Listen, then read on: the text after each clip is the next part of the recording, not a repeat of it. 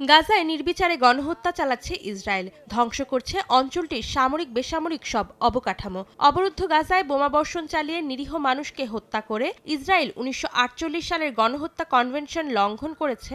এমন অভিযোগে আন্তর্জাতিক বিচার আদালতে মামলা করে দক্ষিণ আফ্রিকা। ইসরায়েলের বিরুদ্ধে দক্ষিণ আফ্রিকার করা গণহত্যার মামলায় সমর্থন জানিয়েছে বাংলাদেশ। রোববার এক বিবৃতিতে বিষয়টি নিশ্চিত করে বাংলাদেশের পররাষ্ট্র মন্ত্রণালয় জানায়, ফিলিস্তিনিদের জন্য অস্থায়ী পদক্ষেপ নেয়ার ব্যাপারে দক্ষিণ আফ্রিকার অনুরোধকেও সমর্থন করে বাংলাদেশ। যার মধ্যে গাজার অভ্যন্তরে ও গাজার বিরুদ্ধে সমস্ত সামরিক অভিযান স্থগিত করা এবং গাজায় নিরাপদ, পর্যাপ্ত ও নিরবিচ্ছিন্ন মানবিক সহায়তার অনুমতি দেওয়ার অনুরোধও রয়েছে। ইসরায়েলি প্রতিরক্ষা বাহিনীর অব্যাহত হামলায় হাজার হাজার ফিলিস্তিনি বেসামরিক নাগরিক প্রাণ হারিয়েছেন, যাদের অধিকাংশই নারী ও শিশু।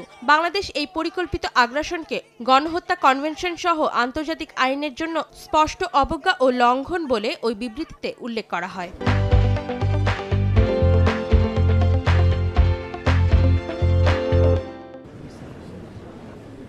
এর আগে শুক্রবার আন্তর্জাতিক বিচারিক আদালতে গাজায় হত্যাযজ্ঞ নিয়ে নির্লজ্জ মিথ্যাচার করে দখলদার ইসরায়েল। গণহত্যার অভিযোগ অস্বীকার করে বিকৃত তথ্য উপস্থাপন করে তেলাবিব তবে ইসরায়েল তাদের পক্ষে যথাযথ প্রমাণ তুলে ধরতে পারেনি বলে জানান দক্ষিণ আফ্রিকার আইনজীবী. অন্তরা সেন সময় সংবাদ।